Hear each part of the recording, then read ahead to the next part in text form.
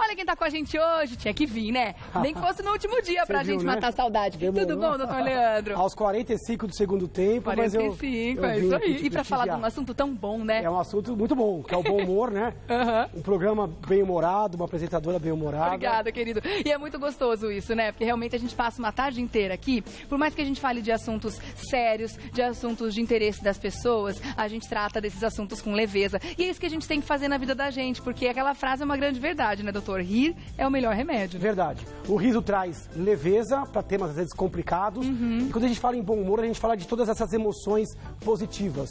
Não só a graça, mas a sensação de bem-estar, a extração de prazer, o otimismo. Eu acho que a gente faz isso aqui nas tardes, você com bastante brilhantismo. Obrigada, doutor. Agora, rir realmente é muito gostoso, né? Quem é que não gosta de dar uma gargalhada? Então, para pra pensar quanto tempo faz você não dar aquela gargalhada que muitas vezes a gente dá aqui. E, e- e lembra da sensação que a gente tem logo depois dessa gargalhada. Tem uma sensação de bem-estar envolvido nisso aí. Claro, existem algumas coisas que acontecem no nosso organismo logo depois da gargalhada, é isso que a gente vai entender também hoje aqui, né, doutor? Sem dúvida, você vai ser premiado pelo seu cérebro, Aham. aquela gargalhada de faltar o ar, né? Que delícia. Aquilo muda a questão autonômica Chorar de e rir. muda a- o perfil do seu cérebro. Aham. Você recebe moléculas como dopamina, adrenalina, serotonina Tá. e você passa o dia com muito mais saúde. E o doutor Leandro tem também hoje dicas de como é que você pode levar a vida com mais bom humor, tá bom? Daqui a pouco a gente fala sobre isso. Antes a gente vai para os mitos e verdades, né? Vamos lá. Vamos lá? O humor influencia a performance intelectual? Perfeito. A gente Verdade? esquece mais, é verdade, isso é uma grande verdade. Legal. O humor ele é importante para você ter mais concentração, mais Uhum. memória, mais criatividade, mais raciocínio.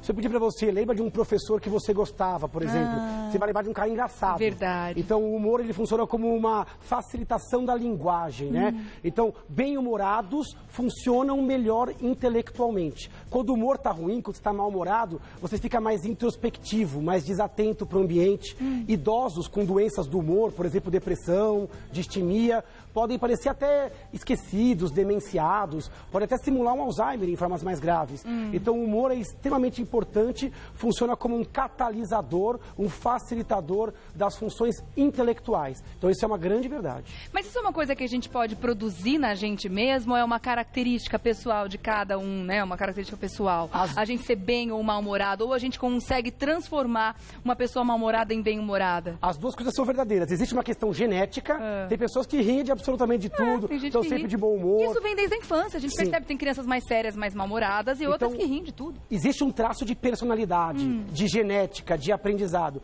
Agora, existe alguma coisa também que é ambiental. Então, a gente consegue transformar, sim, em algum, algum grau. Tá. A gente consegue manipular o nosso humor. Percebendo que o humor não está bem, a gente já pode mover-se contra isso. Tá. Se cercando de pessoas mais alegres, ouvindo uma música mais agitada, Tá. provocando um sorriso, mesmo que inicialmente falso, para tentar mudar o padrão mental. Exercitar a mente para olhar o lado bom das coisas, para valorizar as coisas que a gente tem para fazer projeções otimistas. Então, o humor depende de hormônio, depende de fase da vida, de ritmo de sono, e tudo isso a gente consegue mudar. Tá. Então, existe fatores não modificáveis, como a genética, e outros que são modificáveis. Tá bom. Vamos ver o próximo mito ou verdade? Bora. Bem-humorados ficam mais dispersos e menos atentos. Mentira. Mito, né? Contrário Então, do que você falou agora. O humor é o contrário. Quando a gente vê o humor, vê alguma coisa bem-humorada, a gente fica mais concentrado. A gente gosta daquilo. A gente quer reproduzir depois de novo. Verdade. Então funciona como um catalisador, melhora a concentração. Tem até uma máxima em marketing, publicidade, que ou você emociona ou você diverte. Tá. Então as propagandas usam muito isso. É. Colocar uma forma ou que você se emocione, para que aquilo gere um vínculo emotivo, ou que seja alguma coisa engraçada. A mensagem, ela vai mais fácil com um bom humor. E Então, fica melhor é um- assimilada e mais difícil de esquecer, né? Exatamente. Por Uhum. isso que o humor tem que ser levado para nossa casa, para a nossa relação com os nossos familiares. Tem que ser levado para a sala de aula e tem que ser levado para o ambiente de trabalho. Sem dúvida, o rendimento de todos vai ser amplificado. Muito melhor, né? Tá bom, vamos pro próximo então? Mau humor excessivo e crônico não é sinal de doença. Besteira, mito, Mito, né? né? Na verdade, o mau humor ele pode sinalizar sim que a pessoa está doente. Hum. Seja fisicamente, por exemplo, hipotireoidismo, quadros de anemia, doenças crônicas, até, por exemplo, doenças neoplásicas, câncer, pode se associar ao mau humor. Tá. Então, agora também pode ter uma doença emocional. A depressão, ela se manifesta com um mau humor que não te deixa. Distúrbios hormonais, como TPM exagerada, Hum. menopausa, às vezes durante a gravidez e puerpério. Então, o mau humor, quando muito excessivo, porque Regiane, todo mundo tem dias que não está bem. Claro, isso Mas é normal, quando aquilo né? é, é, dura pouco tempo, é, quando aquilo tem um alvo, quer dizer, tem um propósito. Hum. Agora, quando aquilo dura mais que duas, três semanas, quando não tem um alvo direcionado, ou mesmo que haja um problema, quando a sua resposta é desproporcional a esse problema, você pode estar diante de uma depressão, Hum. de um quadro de distimia, tem transtornos de ansiedade que levam à franca instabilidade do humor. Ah. Então, quando passa do ponto, quando nem você se aguenta, nem você se justifica, é hora de procurar ajuda médica, sem dúvida. Só que muitas vezes a própria pessoa que está vivendo aquilo pode ser que não perceba, né? Mas as pessoas que estão em volta, de repente, se perceberem que alguém da família, algum amigo, tá nessa situação de mau humor constante, é interessante, de repente, dar um toque para que essa pessoa procure ajuda. Sem dúvida, levar para o médico. Uhum. Então, pessoas que não eram mal-humoradas, que ficaram mal-humoradas de uma hora para outra, É. opa, pode ser uma doença aguda.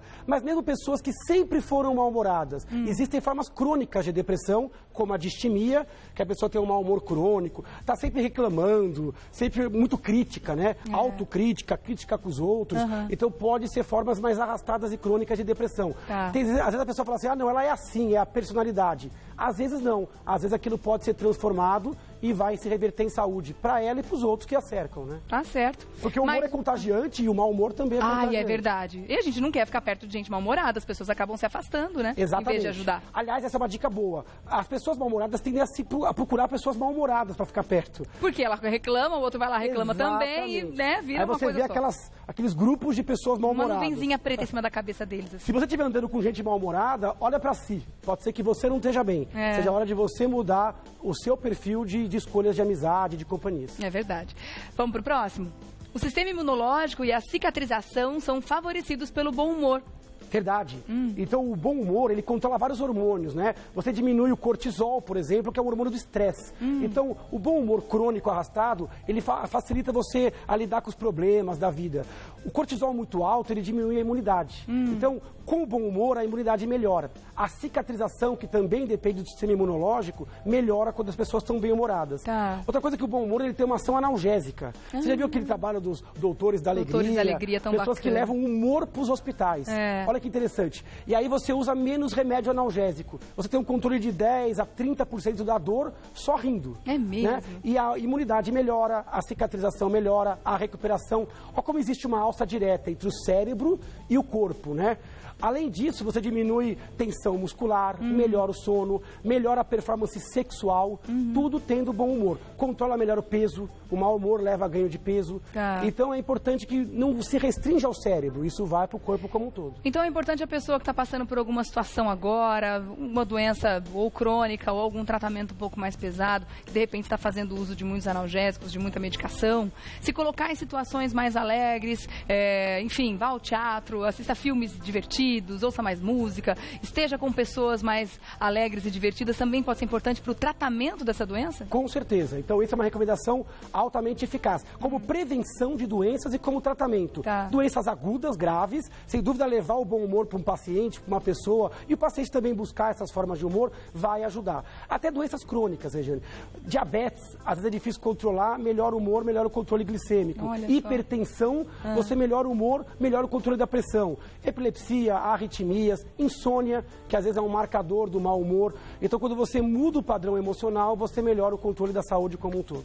Eu gosto daquelas risadas que chegam a dar dor aqui assim do lado, sabe? Começa a dar dor aqui atrás, assim. É, bom, né? são- Vamos lá para as perguntas?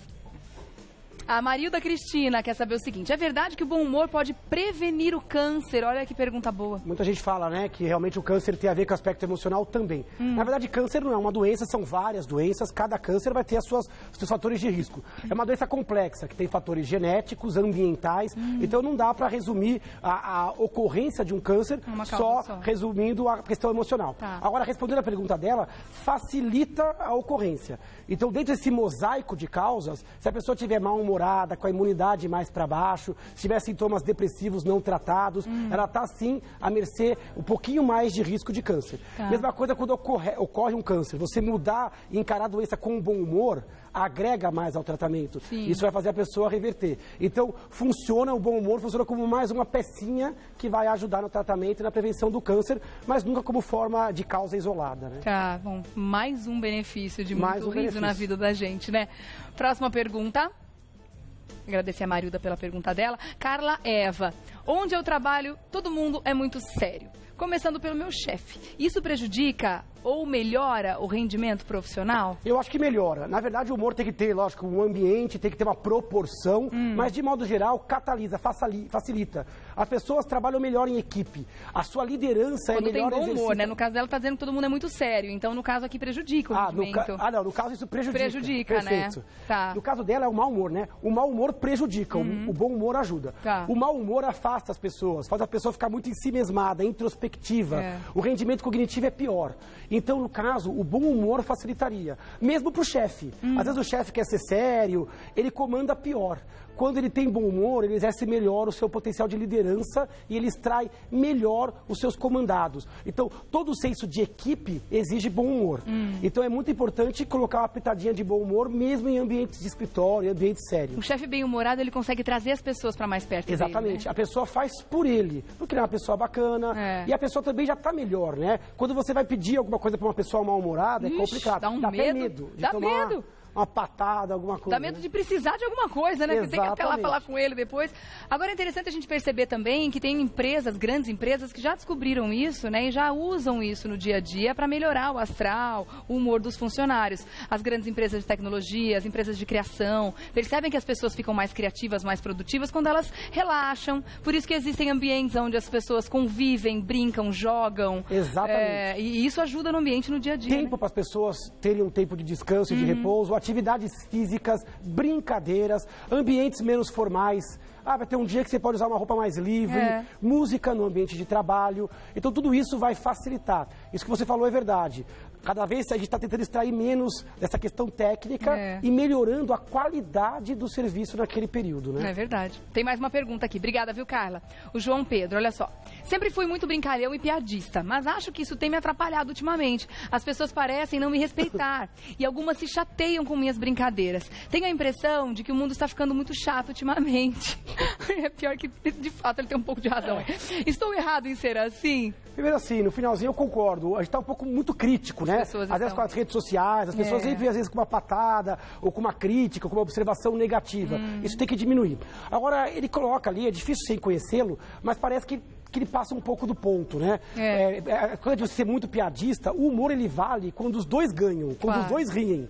Quando só ele ri, não é humor, né? Então, pode estar sendo inconveniente. Pode estar sendo inconveniente. É. é. importante que ele reveja a forma pelo qual ele está brincando. Equilibrar, então, né? É, equilibrar. É importante que as pessoas gostem da sua brincadeira. Para isso tem que ter nível, tem que ter cuidado, não pode brincar com coisas que possam ofender. Hum. O famoso bullying, que às vezes é feito em ambiente de trabalho e de escola. Então, até brincadeira tem limite é. e tem forma correta, momento correto. No caso, se está afastando as pessoas, não é humor. Tá. Já passou um pouquinho, talvez talvez para algo mais pejorativo e está fazendo mal a ele e as pessoas que estão se afastando. O humor bem feito, ele agrega. É. Ele funciona como um imã, ele aproxima, gera empatia.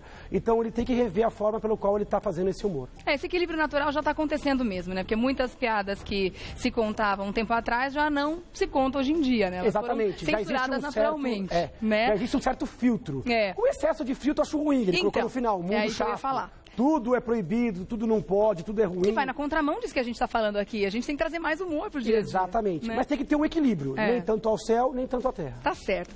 Vamos rir mais, então? É um convite que o Mulheres faz para vocês todos os dias, a partir das duas horas aqui, né? Rir com a gente, ficar com a gente, se informar e trazer mais informação, sempre com leveza, que é isso que a gente tem que fazer em todos os momentos da vida, né, doutor Perfeito, Leandro? Regina. Eu quero deixar um agradecimento, então, e o site para vocês fazerem contato com o doutor Leandro Teles, leandroteles.com.br, leandroteles.com.br. Obrigada mais uma vez pela Eu participação.